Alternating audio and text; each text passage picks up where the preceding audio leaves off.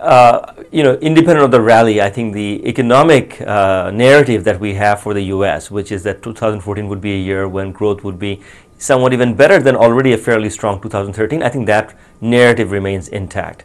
We have seen some wobbles in the data with the payrolls disappointing last month and some of the jobless claims data also not particularly being impressive, but I think they can all be explained in terms of one-offs and bad weather. We think that between the uh, uh, housing recovery, the bottoming out of investment and significant supply uh, contribution coming from the shale gas complex, the U.S. is poised for a multi-year uh, strong growth trajectory. So from that point of view, I think that the swoon that we have seen in global markets in the last six weeks or so were premature. Uh, I think the markets were probably getting a bit ahead of themselves. Uh, this pullback or even the consolation rally that you're talking about today, I think should be seen in the broader context that the underlying fundamentals of the U.S. will probably be a very good positive pull for the rest of the world this year and next.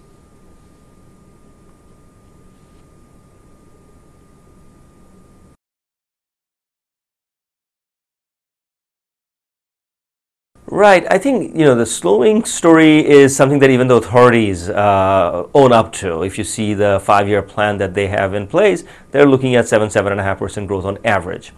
I suppose what is worrying the market is the risk of a disorderly adjustment toward that lower trajectory growth. And it can come from a negative spillover from the financial sector to the real economy.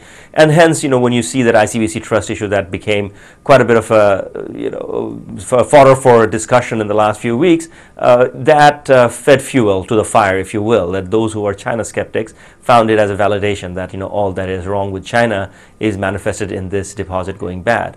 The fact of the matter is, you know, there are credit events like this and deposit events like this in a country the size of China on a regular basis.